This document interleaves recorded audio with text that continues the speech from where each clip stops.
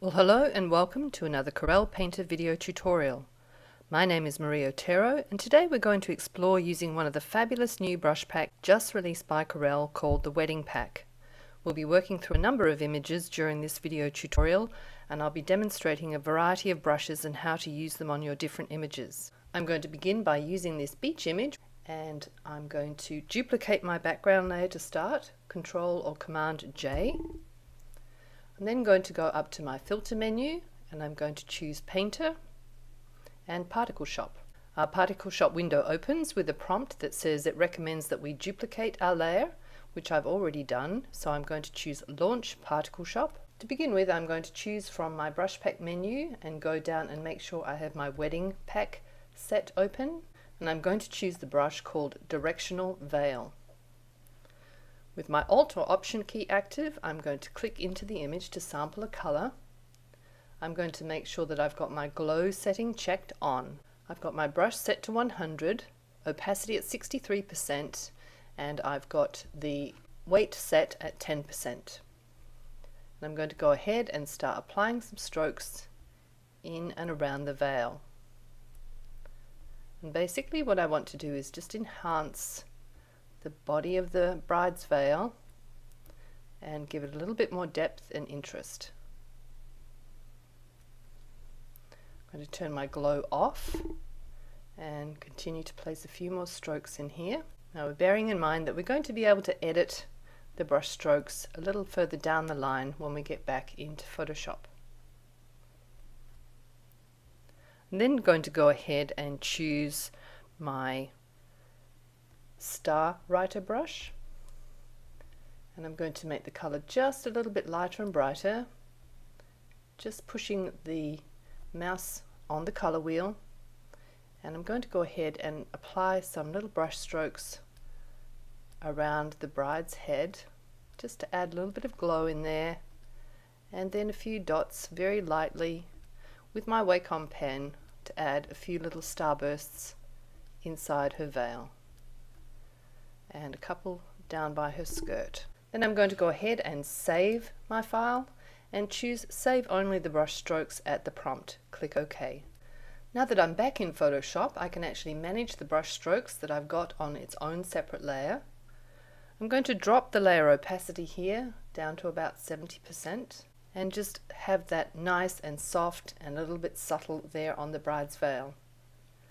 Let's choose to create a stamp visible layer now. We're going to press Shift, Alt or Option, Command or Control and E to create a stamp visible layer.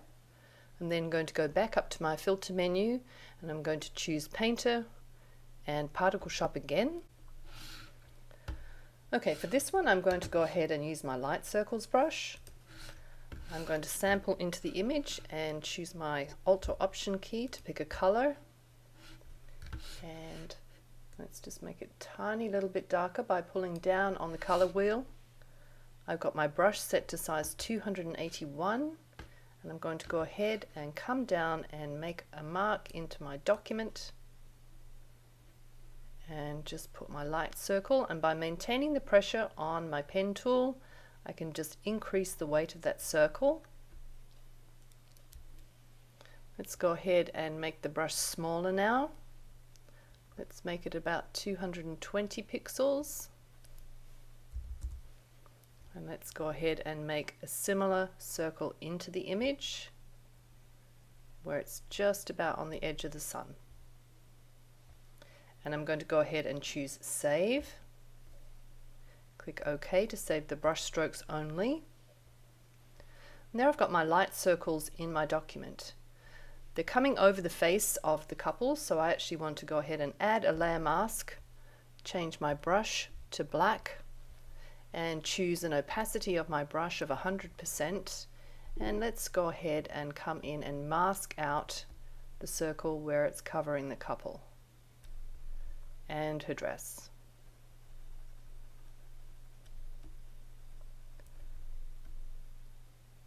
So I'm just using a soft round brush going to reduce the opacity of the brush now down to about 50% and just work on that circle a little bit more where it's coming through the bride and her hair and also through the veil.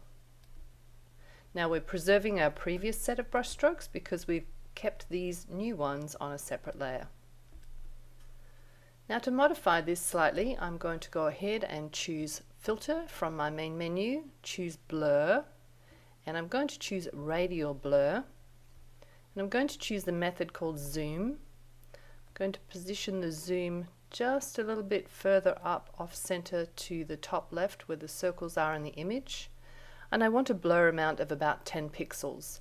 Now this is going to vary depending on the resolution of your image, this is a fairly low res image, so 10 pixels is going to work just fine. And click OK.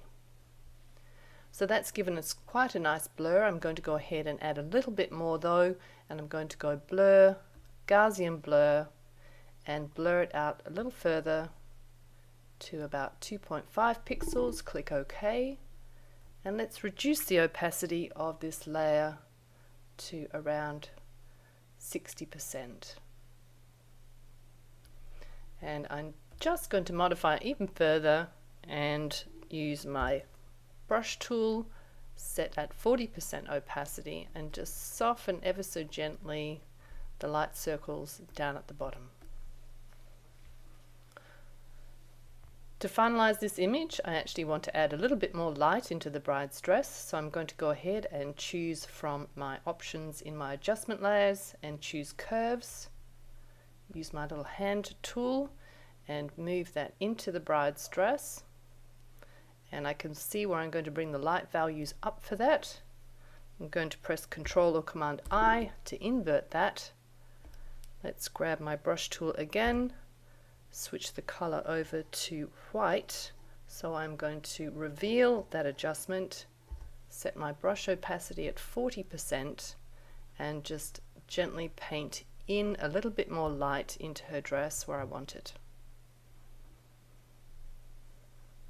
And specifically we, we're getting the glow through the dress from the sun.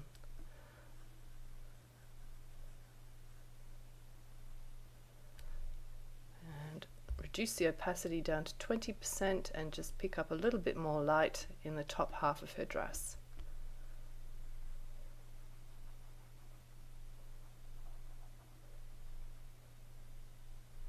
And there we have the first of our images using the wedding brush pack.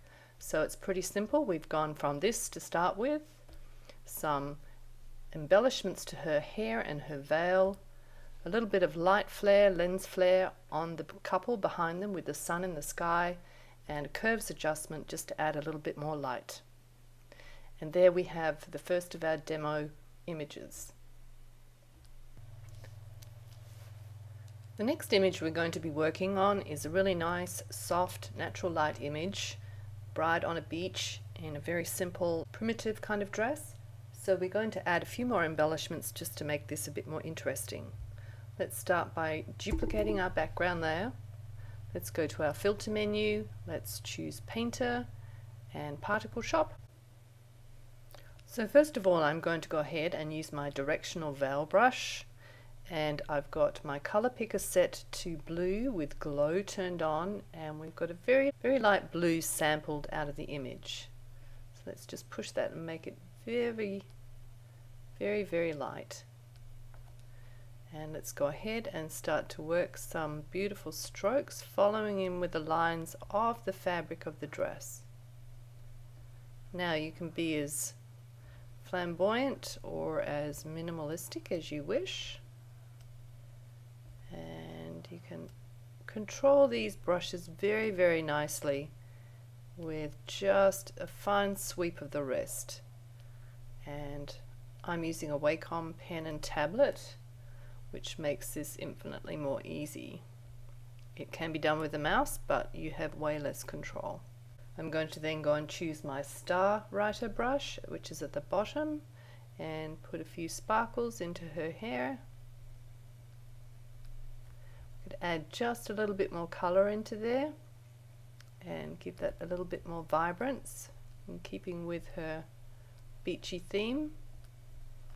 And if we turn the glow off we can just keep a little bit more solid color there and modify our colors a bit.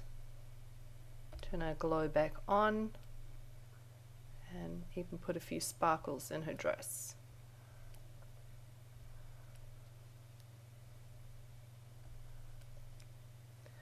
And I'm happy with that, so let's choose Save and click OK to save only the brush strokes. So now we're back in Photoshop and our brush strokes are on a separate layer. I'm going to go ahead and just drop the opacity down to about 96%. Now we've got an image here that has a reflection and by adding those elements in our reflected image doesn't really match. So what I'm going to do is go ahead and duplicate my brush strokes layer, Control or Command J.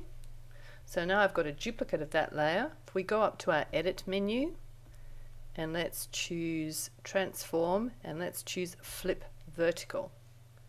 Then using my move tool I'm going to go ahead and grab those brush strokes and bring them back down so that they're more or less mirrored underneath our image.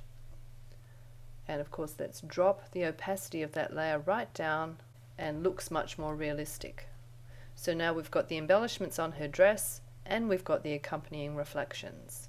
Our third option that we're going to look at for using the wedding brush pack is this evening silhouette with a moody sky which sort of tends to lead us toward romance and relationships. So let's go ahead and duplicate our background layer as usual. Let's choose our filter menu and let's go to Painter and Particle Shop. I'm going to go ahead and choose my Love Letters brush. I've got my brush settings for 22, opacity 100% and the weight at about 68%. And let's go ahead and just make this 100% zoomed in.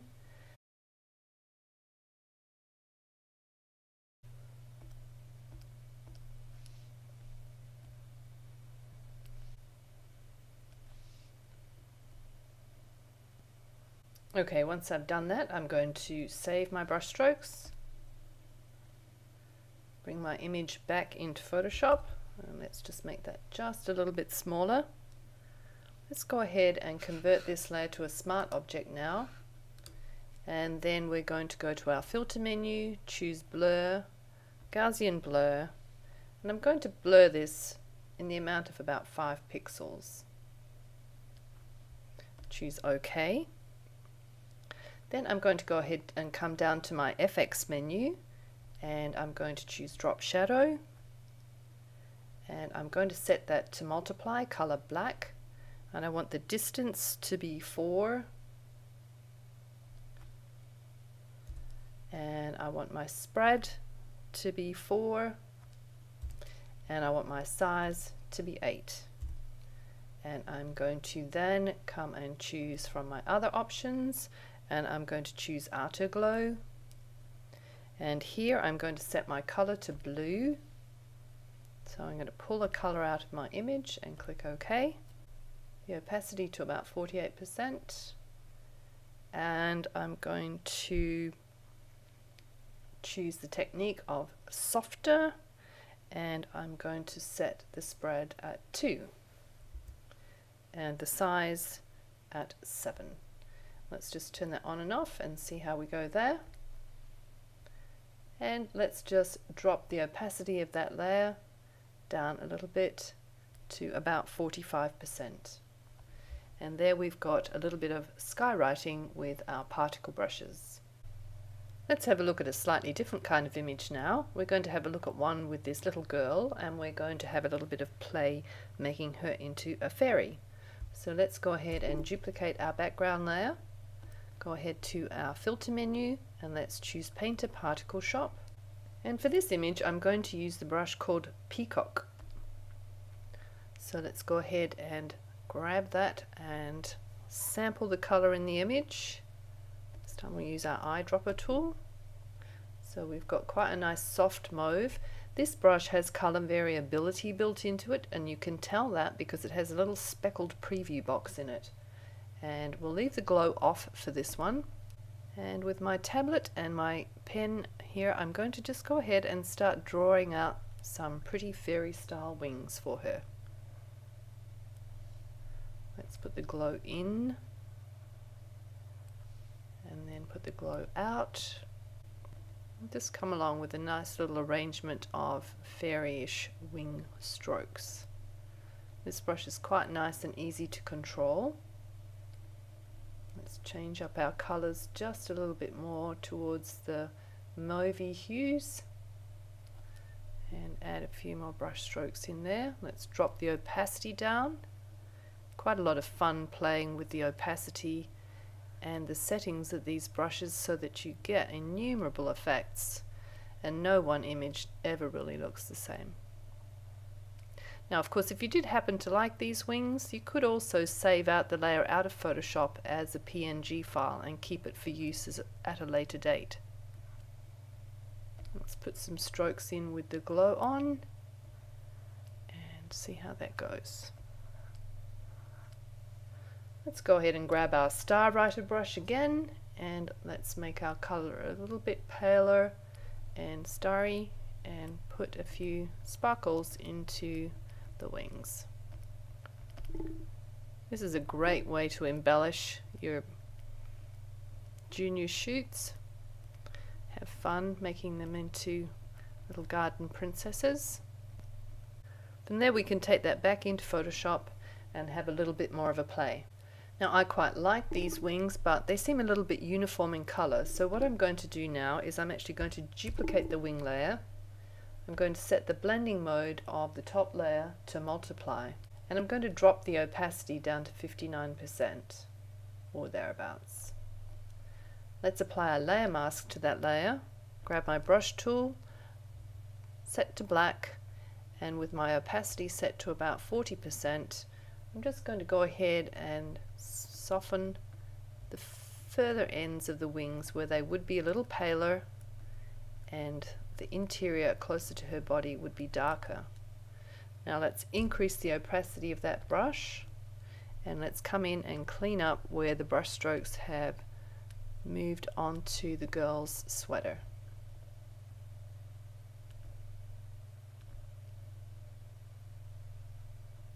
and we're also going to have to apply a layer mask to the underlying layer and do that for that layer too. Let's just soften the stars in the girl's hair just a little bit by masking them out ever so slightly. And they're on our first layer. So if I go back down there my brush strokes will be more effective. Increase the opacity of my brush. There we go. Let's go ahead and add a texture to this now. So I'm going to go to file place embedded and I'm going to choose a texture that I've got here. Place it. I'm going to set the blending mode of that texture to multiply. And I'm going to drop the opacity down to about 74% let's go ahead and apply a layer mask to that one as well. And just take it off her face and zoom out a little bit so I can see.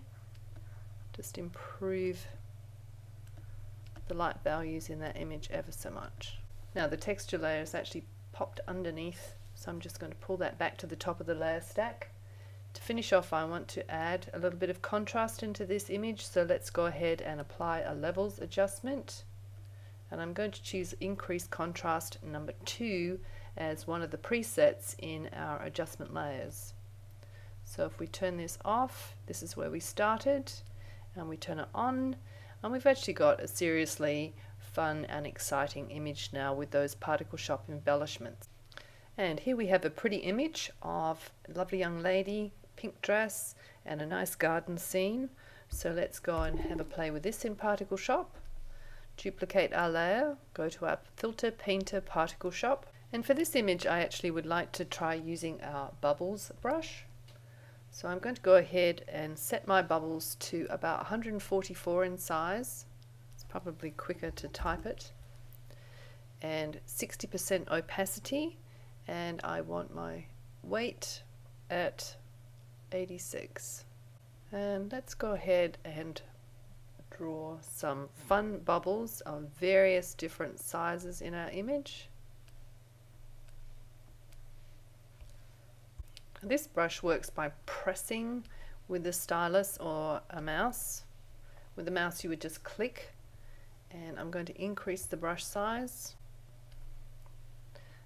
Just put some different overlays on there. I can drop the opacity and make the brush even bigger. This is a great fun brush. I love using this. Very specky. It creates some really delightful effects. So let's save that out and let's go back to Photoshop so we can regain a new layer. So I actually don't want the bubbles um, to appear right now so I'm going to turn that layer off, duplicate the background layer one more time, go to Filter, Painter, Particle Shop. Okay, let's go ahead and grab our peacock brush again and I'm going to use a soft pink color. I'm going to leave the glow turned off and I'm just going to use some very broad generous strokes and construct her some fairy wings. A little bit like the other girl, different perspective and slightly different style of brush strokes. I'm going to flick the glow on and off just so that I get some color variability in the image and let's go back up here with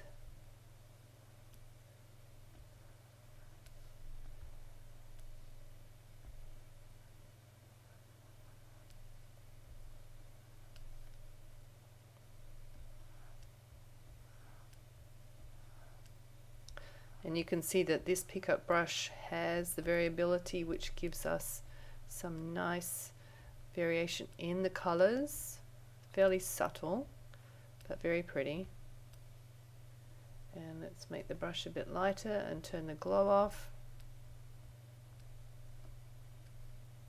and you can see by working with progressive strokes that you kind of build up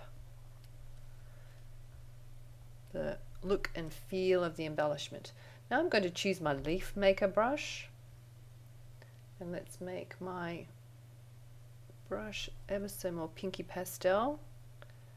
This is nice for making little fun embellishments. I've got my glow turned off and come down here and make it just a little bit darker. Now it's called Leaf Maker but it does all sorts of interesting and um, fun things and it's quite controllable as a particle brush so I find it very easy to work with.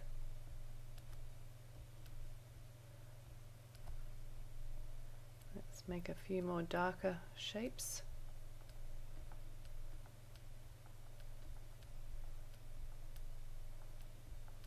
There. Let's turn the glow on a little bit.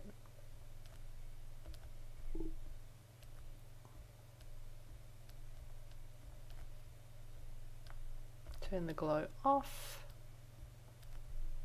and just work in some more strokes so that it really marries the embellishment into the back of the girl's dress. Let's change the brush to fine chiffon and wipe gently through here and just further embellish just a little more.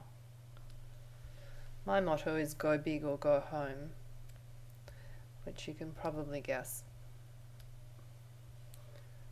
Excellent. So now we've got the circles and we've got the wing embellishments. I'm going to save this and we'll return to Photoshop. Save our brush strokes and let's turn our bubbles back on. So the bubbles are a little strong now, so let's drop the layer opacity of those down a little bit. So let's make them about 43% and let's also drop the layer opacity of the wings ever so slightly. I want to improve the light values in the image somewhat and I'm going to do this by adding a new blank layer at the top of my layer stack. Let's grab my brush tool and I'm going to choose my white brush and I'm going to set the opacity down at 10% and I'm just going to go ahead and paint in a little bit of white light into the image. Invert my brush so that it's a black and add a very soft little vignette drop the opacity of that slightly let's go ahead and add an adjustment layer levels let's choose increase contrast 2 and there we have a very prettily embellished young girl in the garden. Well, I hope you've enjoyed watching a few of these demonstrations on how we can get creative and have a little bit of fun embellishing our images with the new wedding pack from Corel Painter.